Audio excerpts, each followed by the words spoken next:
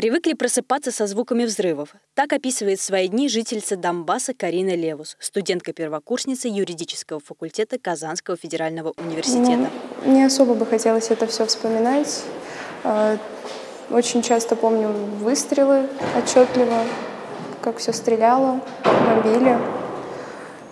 Надеюсь, скоро это все закончится. В Казань Карина, как и многие, отправлялась за образованием. Как она сама вспоминает, жители Донбасса делятся на два лагеря. Одни уезжают, считая, что перспектив не так уж и много, а другие, наоборот, стоят до конца за свою родину. Вот и ее мама поначалу скептически отнеслась к идее дочери уехать. А, мои родители так еще и продолжают жить на Донбассе, они считают, что это их родина.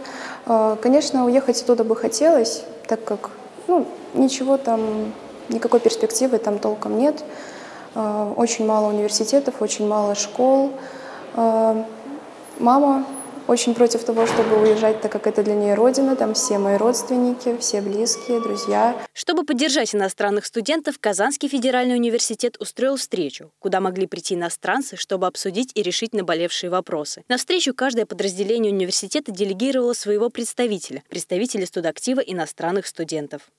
Поэтому наша задача в университете сейчас обеспечить первое, что максимальное соблюдение всех необходимых требований по обеспечению учебного процесса.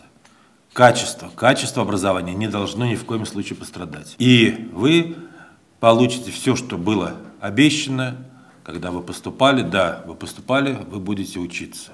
Была затронута финансовая тема общения с родными и близкими. Также Дмитрий Таюрский пообещал, что сложная обстановка в стране никак не отразится на образовании. Алина Красильникова, Кристина Колсанова, Фарид Захитаглы, Univer News.